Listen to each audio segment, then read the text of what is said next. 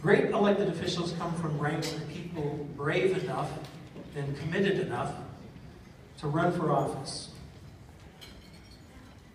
And our candidates for office, will if our candidates for office will all stand, we will applaud your collective candidacy, whatever else it makes you do this. Please.